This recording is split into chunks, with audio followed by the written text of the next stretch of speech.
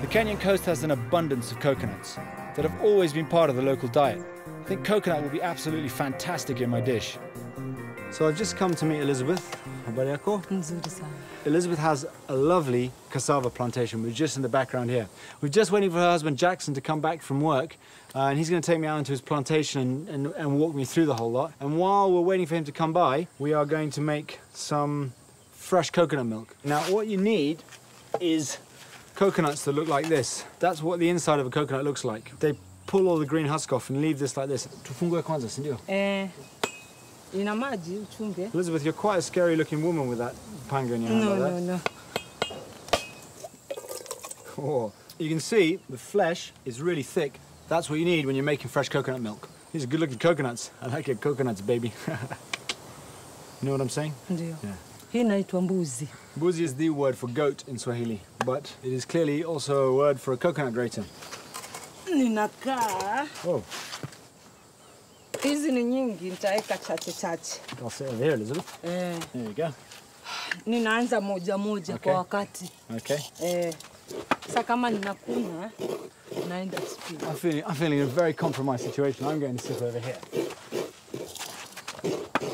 So you can see you just rub the coconut on that protrusion. Na inatoka tu. I'm a little bit uncomfortable right now. Hicho kimoja kimeisha. That's really what you're looking for. All, all the coconut flesh has been grated away. That's what it ends up being. Really nicely grated coconut. Right, my turn. I'm about the most inflexible creature God has ever created.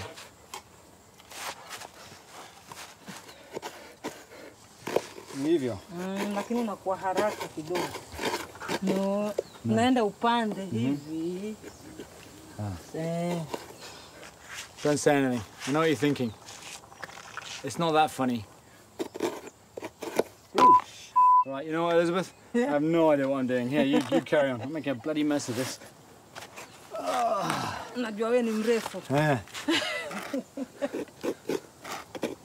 Haya, sasa kutoka hapa. Naeka maji kidogo hapa. Okay. Una, unakamua The first press is always the thickest stuff. eh, ndio And sometimes in cooking, you'll keep the four stages, as many as you want to do, in different batches. And you can cook with them in different batches. And that is pretty much all there is to it, really. We've got two lovely presses of our coconut milk, some really lovely thick stuff here, some lighter stuff here. And these will be fantastic if we do manage to get ourselves an octopus. Elizabeth, fundi sana. Asante sana. Right, oh, it's all right, I got messy hands as well.